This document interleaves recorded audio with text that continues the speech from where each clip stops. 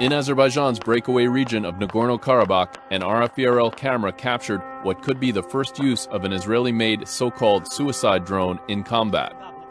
An Armenian Defense Ministry spokesman said the drone slammed into a bus full of volunteers on April 4th, killing seven. The